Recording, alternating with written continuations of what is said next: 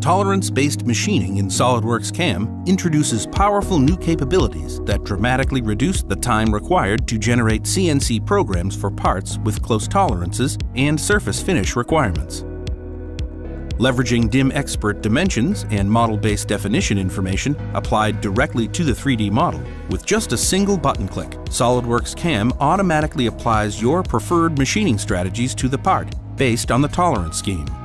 If the tolerance specification of a feature changes, SOLIDWORKS CAM automatically updates the machining operations using predefined rules that match your manufacturing best practices. Parts that took hours or even days to program can be programmed automatically in minutes. Asymmetric tolerances can be adjusted to mean values, and all of the tools, speeds, feeds, and depth of cuts are automatically selected to meet the model-based design requirements. Tolerance-based machining in SOLIDWORKS CAM streamlines design to manufacture, leveraging the power of model-based definition to automate CNC programming and reduce overall delivery times.